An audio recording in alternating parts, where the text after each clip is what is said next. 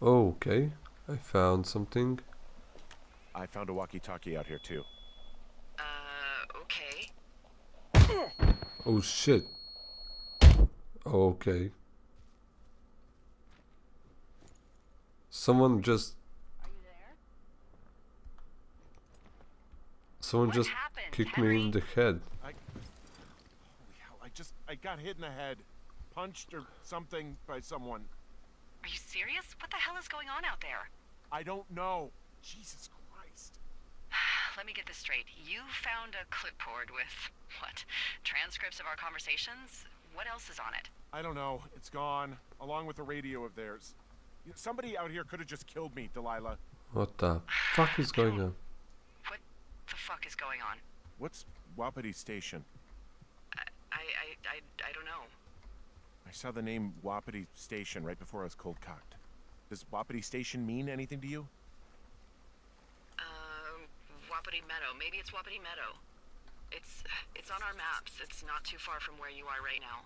It's north of the lake. It, it looks like there should be a trail somewhere on the north shore of Jonesy Lake. I'll uh, I'll start hiking that way now.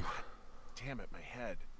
Are you, are you sure you saw what, what you saw, Henry? Uh, Maybe you pissed off some more campers and they came back to sucker punch you. Look, I know what I saw. Hey, it was our words with initials for our names, H and D, clear as day. And you've been feeling okay? I feel fine.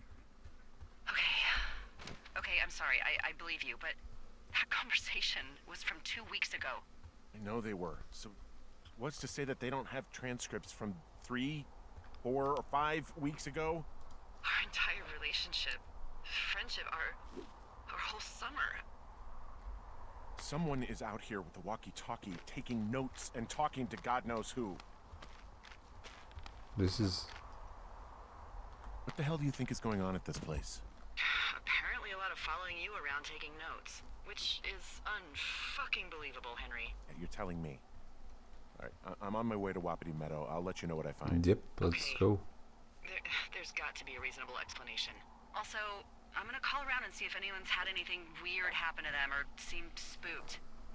Ugh, I don't want to make this bigger than it is yet, you know? Whoa, Delilah, there's a big chain link fence between me and the meadow. I, I don't think I can get past it. Uh, a fence?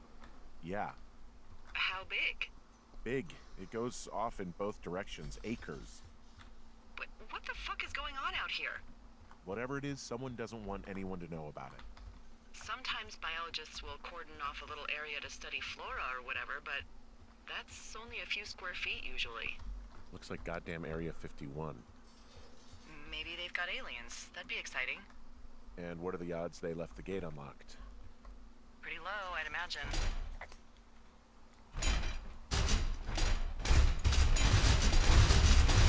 Ah!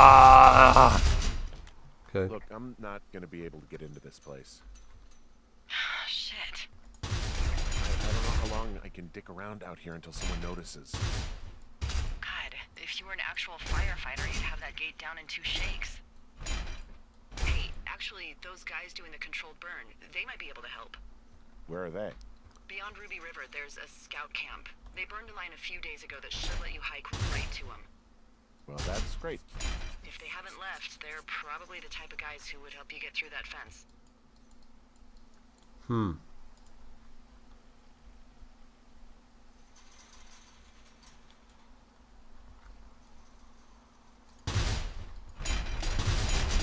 Shit. Okay, this uh, episode is going too too long. So yeah, guys, I will end this episode right here, and I will continue in the next one. So thanks for watching. Leave a like, subscribe if you are new here, and I will see you in just a few seconds. Okay, see you later.